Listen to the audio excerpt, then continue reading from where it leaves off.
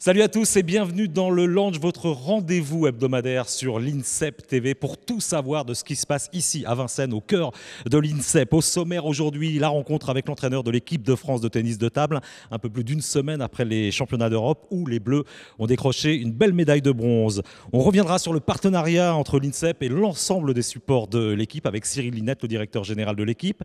On s'intéressera aux résultats de la semaine et puis au rendez-vous à suivre avec euh, Simon Casse. Et puis, bien sûr, il y aura le défi avec notre invité, l'entraîneur donc de l'équipe de France de tennis de table, Patrick Chila. Bonjour. Bonjour à Alors tous. on va revenir rapidement sur euh, bah, déjà ton, ton passé de, de champion. Oui, Une participation exceptionnelle aux Jeux Olympiques puisque tu as fait 5 Jeux Olympiques, rien que ça. oui c'est ça. Une médaille, mais cinq jeux. Ouais, c'est assez, exceptionnel dans le sport d'avoir 5 participations. Oui, bah c'est vrai que les derniers, euh, même si j'avais plus trop le niveau international pour pouvoir faire quelque chose, euh, mais j'avais vraiment envie de finir à Pékin en, 2000, en 2008, parce que c'est vrai que pour un pongiste, un pongiste pardon, finir à Pékin, c'était vraiment quelque chose de grand. Et voilà, je m'étais mis ça dans un coin de la tête et ça Voilà, une médaille de bronze donc en double, c'était à Sydney avec un grand monsieur du, du tennis de table, c'est Jean-Philippe Gatien. Voilà, tout à fait. Euh, bah, ça restera, euh, même si c'était qu'en double, certains diraient. En tout cas, ça restera pour moi un énorme souvenir parce que faire des Jeux Olympiques, c'est déjà grandiose. Euh, mais euh, les faire et en plus remporter une médaille, ça décuple le- le- l'événement.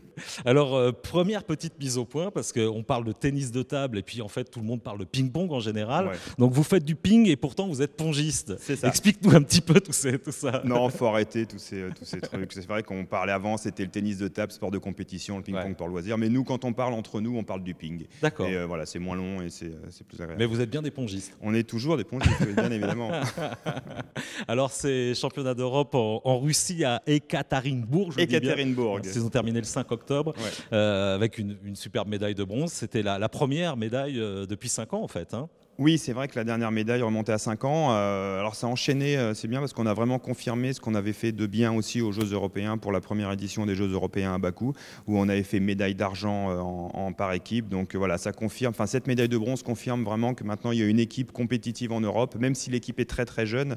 Je pense que dans quelques années elle sera encore plus forte, mais on était très très content de confirmer cette médaille d'argent avec cette médaille de bronze à Ekaterinbourg, même si par la suite ça s'est moins bien passé en individuel. Voilà, on était, on était, c'était l'objectif de la fédération de ramener une médaille, on l'a fait, on était bien heureux. Alors une équipe, euh, vous êtes parti avec 5 athlètes. hein. Oui. Tu peux nous les présenter rapidement? Bah, euh, en un, donc euh, Simon, euh, Simon Gauzy, qui est, le leader de euh, le- de qui est l'équipe de maintenant le leader de l'équipe de France, qui est à peu près qui est aux alentours de la 25e place mondiale, euh, donc qui a été un très très bon leader euh, en par équipe là-bas. Euh, en numéro 2, c'était Emmanuel Lebesson, qui est aux alentours maintenant de la, de la 65e place mondiale. Euh, et puis après, je dirais qu'il y, a- il y avait trois joueurs qui étaient à peu près du même niveau, avec euh, gaucher, droitier, des systèmes de jeu différents.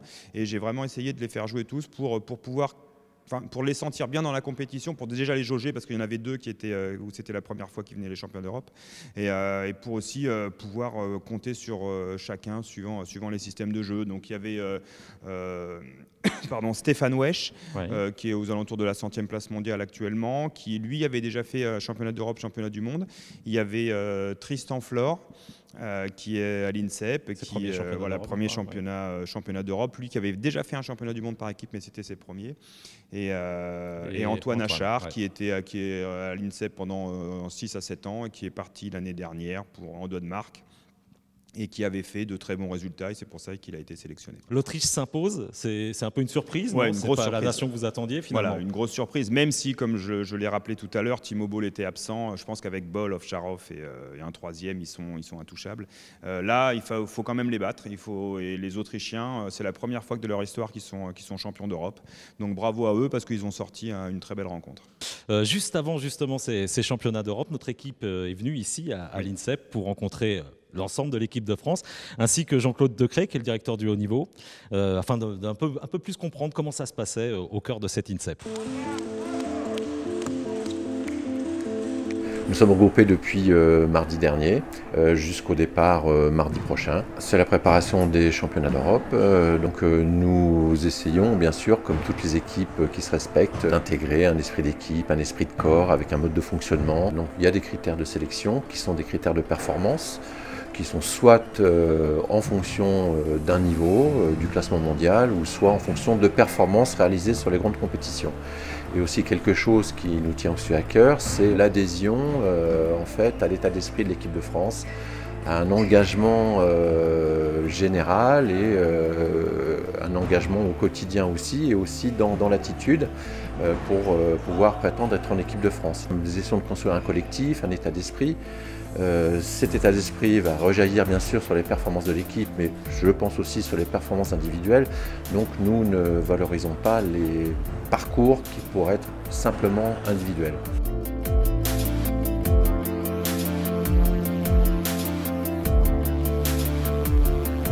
Pour l'instant, la préparation se passe très bien. Il euh, n'y a pas de blessés, donc ça pour nous, c'est le, principal. On a une équipe, je pense, compétitive. On est capable de faire de très bonnes choses ensemble. C'est un groupe qui est, assez sain. On, vit bien tous ensemble et c'est le principal. Bon, gros travail ici à l'INSEP donc euh, pour cette euh, préparation avec en ligne de mire bien sûr les prochains Jeux Olympiques. bien évidemment. Non, c'est vrai qu'alors, j'ai pas envie de, mettre la pression trop vite aux, joueurs en parlant trop tôt des Jeux Olympiques, mais de toute façon, ils ont ça dans la tête. Euh, donc voilà, oui, c'est vrai que toutes les compétitions maintenant sont, euh, on est focalisé un petit peu plus sur les Jeux Olympiques, même si euh, il y a quand même, enfin, il y avait les championnats d'Europe qui étaient très importants pour nous, les championnats du monde à Kuala Lumpur en par équipe au mois de, au mois d'avril, mai, euh, donc qui seront aussi très importants pour ensuite, bien sûr, penser qu'aux Jeux Olympiques. Bon, tu n'es pas tout à fait sorti de l'auberge puisque à la fin de ce rendez-vous, il y a le fameux défi. Ah. Euh, tu as le choix entre le baby-foot, le billard et les fléchettes. Tu choisis quoi? Bah, C'est vrai que je m'entraîne un peu mal aux fléchettes l'été, mais je vais quand même. j'ai eu beaucoup, beaucoup. Enfin, j'ai fait beaucoup de baby en étant jeune à l'INSEP, donc je pense que je dois avoir quelques D'accord. Donc on, va te retrouver tout à l'heure. Alors, on parlait des prochains jeux. Alors, évidemment, les médias sont de plus en plus présents à l'INSEP avec euh, ce, grand rendez-vous.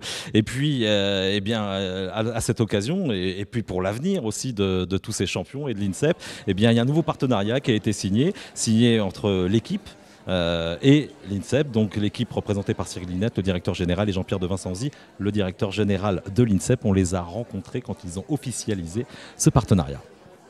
Ce qu'attend l'INSEP d'un tel partenariat, c'est que nous puissions véritablement travailler en complémentarité. Nous, nous travaillons sur le terrain. Euh, le groupe L'équipe euh, travaille sur la médiatisation des faits, la médiatisation de l'actualité, que ce soit l'actualité passée pour bien rappeler ce qui s'est passé, euh, présente, et puis peut-être aussi parler de ce qui risque de se produire demain. On est sur des projets, des projets actuels, mais aussi sur des projets futurs. Rio va arriver, les Jeux de 2024, j'espère, vont arriver, mais en tout cas, il y a la, candidature de 2024. Ce sont autant de choses dont il va falloir débattre. Les, lecteurs et fans de l'équipe, par rapport à peut-être il y a 20 ou 30 ans, ont aujourd'hui un vrai intérêt pour ce qui prépare le jour J. C'est-à-dire, bien sûr, il y a la passion d'un championnat du monde, d'un championnat d'Europe, d'une finale olympique. Tout ça, c'est des éléments que tout le monde connaît. Mais essayer de comprendre comment ça se prépare jour après jour, euh, entrer dans l'intimité, dans l'entraînement, dans la performance, dans les aspects nutritionnels, dans les aspects médicaux, dans la préparation mentale. Tous ces sujets-là, je pense, passionnent de plus en plus les gens qui sont fans de sport parce que d'abord, ils se projettent dans ce type de pratique et puis parce qu'ils rêvent avec les athlètes. Bah Patrick, je te propose de me suivre. On va aller tout de avec suite plaisir. Rencontrer euh, Simon, Simon Casse, qui euh, fait ses études ici euh, à Sportcom et qui toutes les semaines va nous donner les résultats et les rendez-vous à suivre. On va, lui, on va lui donner cette petite sucette. Salut Simon. Salut. Alors Simon, une actualité chargée. On va commencer avec les résultats et d'abord du judo, les championnats d'Europe universitaires. Voilà, Julie, Julie Pierret a gagné les championnats d'Europe euh, universitaires en moins de 78 kilos. La compétition se déroulait à Reims et, euh, et Julie étudie le sport ici à l'INSEP puisqu'elle est en STAPS. Très bien. On continue avec l'escrime. Il y a, eu une Coupe du Monde de sabre. Voilà le sabre avec la jeune Manon Brunet qui euh, remporte sa première médaille euh, internationale. Euh, la compétition se déroulait à Caracas, au Venezuela, et elle se classe troisième. Et puis on, termine avec euh, le volet. Et puis alors là, c'est carrément la performance de la semaine pour l'équipe de France. Euh, un retour triomphal, on peut Un retour triomphal, mené 2-7 à 0. L'équipe de France gagne le match 3-2 avec une, grosse attaque, une grosse performance de Erwin Engapet notamment. La finale, c'est bientôt. Hein. Bah, il y a les quarts de finale mercredi, je crois, voilà, qui se jouent mercredi. On croise les doigts. On croise les doigts. Alors justement, on va parler des rendez-vous à suivre il y a une actualité très très chargée ici, beaucoup de sport au sein de, de l'INSEP. On commence avec du fleuret et la Coupe du Monde. Voilà, la Coupe du Monde féminine qui se déroule à Cancun, au Mexique, un endroit où il fait chaud aussi. Décidément, ils font des beaux voyages en ce moment. on, prépare, on prépare le Brésil et, et voilà, l'équipe de France sera au rendez-vous, j'espère. On vient de parler du championnat d'Europe de volley. Il y, aura, il y a également les championnats du monde de boxe. Hein. Il y a toute l'équipe de France qui est les championnats du monde de boxe euh, à, Doha en ce moment, où, euh, où l'équipe de France essaye de faire le mieux avec quatre athlètes, je crois, qualifiés euh, qui, qui, qui, espère de qualifier un quota pour, pour Rio là-bas. Affaire à suivre. Et puis l'actualité ici, au cœur de l'INSEP cette semaine, ce sera l'inauguration de la piscine. Équipement euh, magnifique. Vous avez peut-être eu l'occasion d'y aller dans la piscine Non, pas encore, mais j'ai hâte d'y aller. J'ai hâte de la voir à nouvelle. mais tout de suite, euh, on va reprendre ton micro, Simon. C'est le moment du défi. C'est le moment du défi, Patrick. On va s'approcher. C'est quoi les rouges, les bleus C'est comment ça alors, se passe écoute, tu choisis ta couleur, il n'y a aucun problème. les bleus, moi. Et, et, comme moi, je suis carrément nul ça, on va demander, on va carrément passer dans les coulisses. C'est Alex, ah oui, un le... des ah, cadreurs de l'émission. lui, c'est un champion euh, hors catégorie. Alors le, le, principe du défi, c'est que vous êtes chronométré. Hein. Tous les invités de ce lounge seront au même tarif. Et l'objectif pour toi, un gros Moi, je vais faire le commentaire. Un jeune comme ça, je suis trop vieux pour jouer à ça. Je vais reprendre ton micro. le but du jeu, c'est de marquer. Alors, c'est moi qui vais donner le top chrono, Alex, hein, parce que le but du jeu, c'est de vous chronométrer. C'est celui tu fais comme tu veux. Le but, c'est de marquer le plus rapidement possible un but. Attention, top départ. C'est parti. Ouais, ça, c'est le problème des sportifs en général. Fais gaffe parce qu'il a l'air de se débrouiller quand même, Alex. Hein. T'as pas le droit de marquer, toi, Alex. Hein. c'est Patrick qui doit marquer.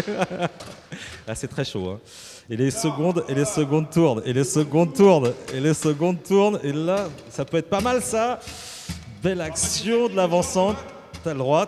Ah ouais Joli Joli Je te rends le micro. Patrick, euh, merci euh, beaucoup de ta présence. On se retrouve euh, la semaine prochaine pour un nouveau rendez-vous du lounge et puis évidemment de nouvelles aventures. Merci et bonne chance pour la suite des aventures de cette équipe de France de ping-pong.